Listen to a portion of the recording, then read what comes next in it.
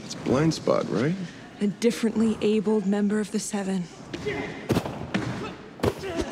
We're gonna pull through the roof with millennials. Inclusion's a big priority to them right now. Amazing. And then I think we find an ethnic or female, or fingers crossed, an ethnic female to replace the deep, and we're golden.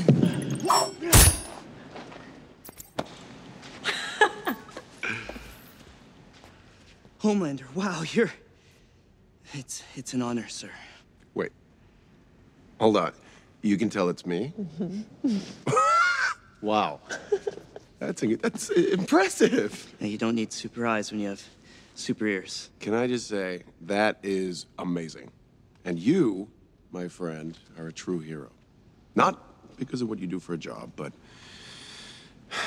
well, because of what you've overcome. Thank you. That means everything coming from you. Oh, stop it. Come on. Hey, guys, um, I just have one question, if that's okay. Yeah. Yeah? Yeah. All right. So, uh, what happens if, uh, I don't know, I do this?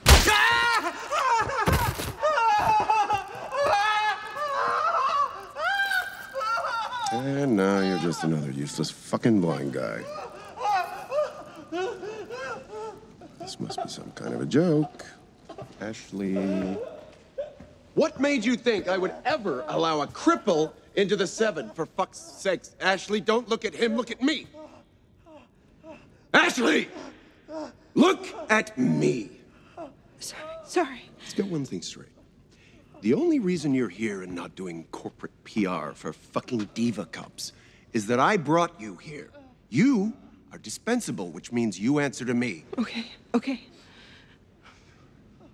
From now on, I will set my own agenda, I'll approve my own marketing, and write my own talking points. You will tell me everything that goes on on the 99th floor, and I mean everything. Every call, email, group chat. If a fucking light bulb goes out, you will tell me. And Ashley, in no fucking way do you decide who goes in the seven. I decide. Do we have an understanding? Yes.